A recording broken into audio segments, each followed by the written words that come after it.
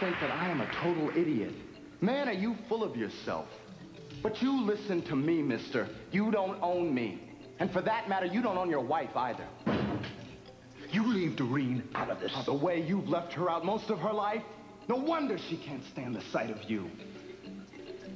I gave your wife what she never got from you, man. Love and attention. She was starved for it, and she responded in every way. That she may have your name, and you may be able to lock her up with all the rest of your prized possessions.